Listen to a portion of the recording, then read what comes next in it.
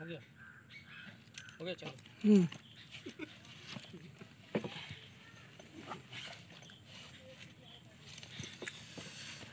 चालू कर दें. हाँ. हम लोग आ गए हैं जंगल में. एक घोड़िया सांप घर के बगल में निकला था. उसको पकड़ के लिए आए हैं. ये जो है नॉन वेनमेस होता है. बगैर जहरीला सांप है ये. तो इसको जो है एक घंटा पहले हम पकड़े थे अभी इसको रिलीज़ करने के लिए हम आ गए हैं।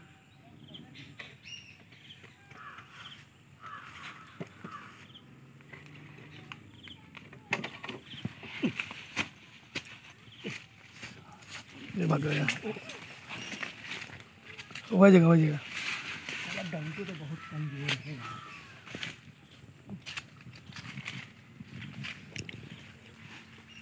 चलिए। आ जाइए।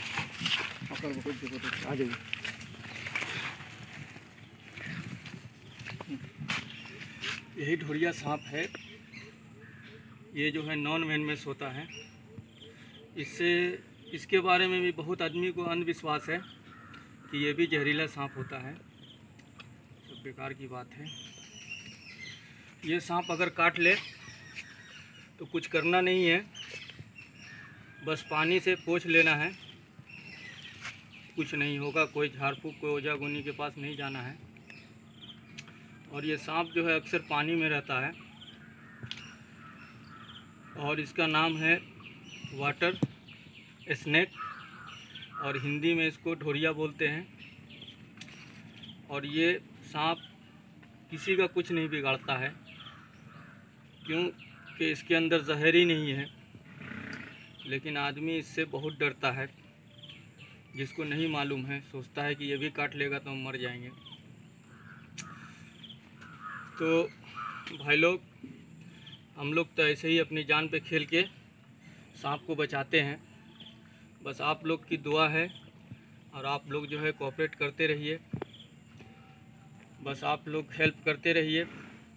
आप लोग की मदद चाहिए बस, ताकि हम ज़्यादा से ज़्यादा सांप की जान बचा सकें।